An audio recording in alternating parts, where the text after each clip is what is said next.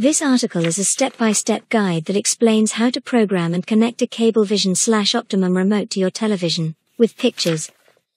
Follow the steps given below in order to program your Cablevision remote to your TV.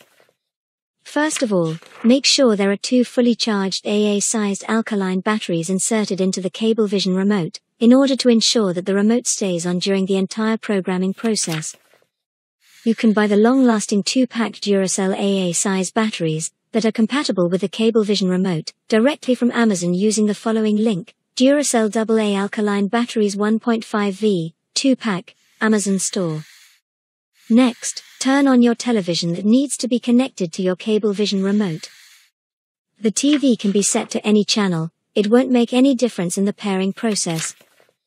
Now get the remote programming code for your TV model from the table given below. Note the specific three-digit code for your TV model and write it down on a piece of paper, as it will be required in the fifth step. To take the remote into programming slash pairing mode, press and hold the TV button and the SEL, select, button simultaneously for 3 seconds, as shown below. The iO button will now light up red, shown below, indicating that the remote has not entered pairing mode. Now grab the code that you obtained in step 3, and enter the same on your remote, while keeping it pointed towards your TV. The TV will shut down after you're done entering the code. Now press the mute button on your remote while keeping it pointed towards the TV. Your TV should turn on.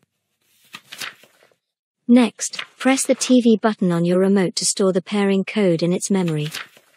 The iO button will blink twice to confirm the save. That's all. Now you can enjoy using your Cablevision remote with your TV with all the features on the remote.